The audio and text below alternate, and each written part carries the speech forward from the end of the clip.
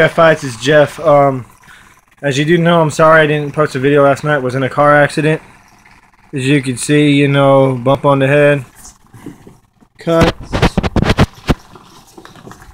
I mean, you see all the cuts. Even got knots on the back of my of my neck.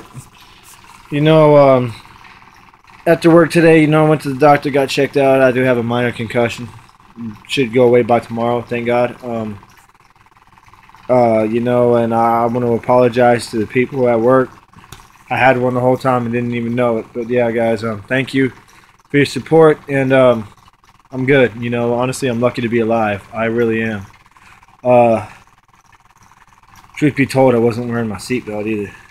That just tells you wasn't my time.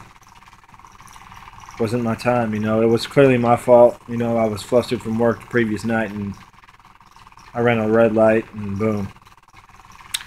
That was the end of that. But yeah, um I'm fine guys. Thank you so much, like I said, for y'all support and you know subscribe like I said. Make sure y'all subscribe for more content. Alright, Jeff Lights out.